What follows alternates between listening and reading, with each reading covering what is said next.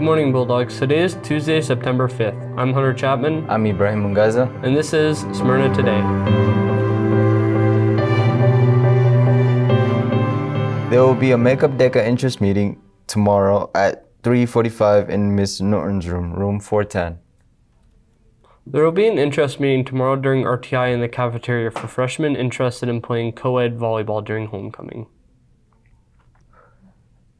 Thursdays are dress up days. Show your school spirit and get your outfits ready for dress up Thursdays. And remember that on Friday we were purple and gold.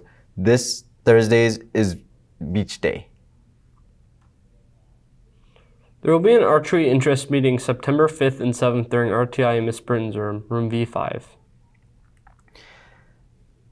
Fall play auditions are September 5th and 7th from 4 to 6 in the auditorium. See Miss Isa for more information in room 157.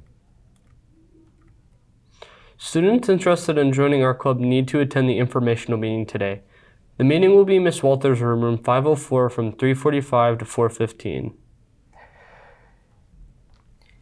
If you did not attend the meeting, see a librarian for more information and for a permission slip. You cannot attend book club without a parent signature. Every Friday, we host a different college or university. An admission representative will be outside the cafeteria during lunches to talk with any interested students. This Friday, our college of the week is the University of Tennessee, Chattanooga.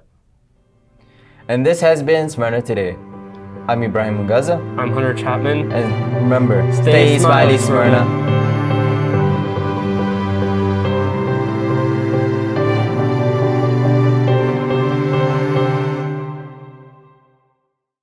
Stay updated with the latest at SHS by subscribing to the Smyrna High School YouTube channel and by following SHS Productions on Twitter.